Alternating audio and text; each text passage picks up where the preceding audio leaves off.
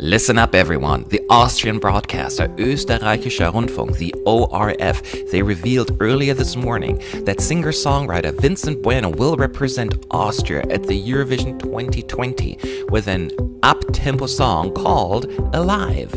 Alive, which will be released shortly before the song submission deadline in early March, will have personal hashtags as a theme, withdrawing positivity from within, tying these hashtags together.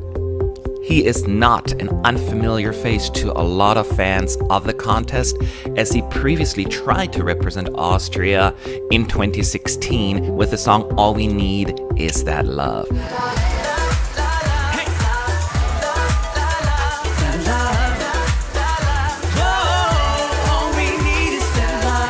Now he actually gets to go. Now, Bueno who is of Ilocano heritage from the Philippines and born on December 10, 1985 in Vienna, Austria, first came to fame in Austria after winning Musical Die Show in early 2008. Bueno beat nine other contestants in the Broadway musical themed contest and earning praise from original cast members of Miss Saigon, Isay Alvarez and Robert Sena along the way.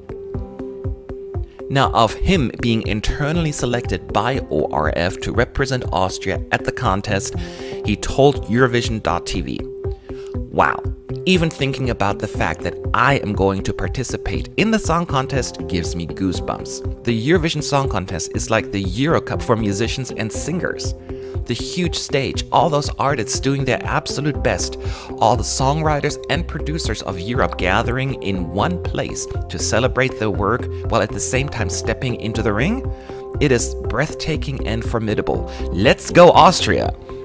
Though born in Austria, Bueno also went to his parents' homeland and tried his hand at a career there, appeared on a variety show several times in 2010, then signing um, in, into Star Records, and Bueno is a multilingual threat with a German language 2008 debut album and a 2018 English language album called Invincible, along with several tag-along singles in between.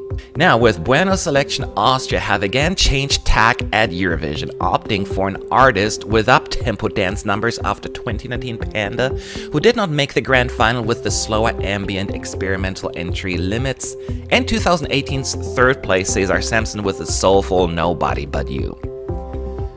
Only time will tell if Bueno's Alive is a success or not, but there is no denying Bueno is an experienced performer who is not lacking in confidence.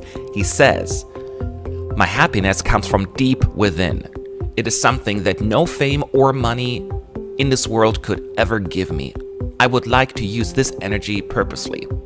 It is not clear if Bueno will write Alive himself, but he certainly has the training and experience for it, having mastered four instruments by the time he entered conservatory in Vienna at age 18. And most of Bueno's works are written by him as well. And regardless of results at Eurovision 2020, we know that at least Bueno's approach to the event in Rotterdam will be to treat it like a party and a positive experience. Now, what do you think of Vincent Bueno's representing Austria at the Eurovision 2020? Do you think he'll get Austria back to the grand final? Let us know in the comments section below. We would love to hear from you. Thank you for watching and talk to you soon.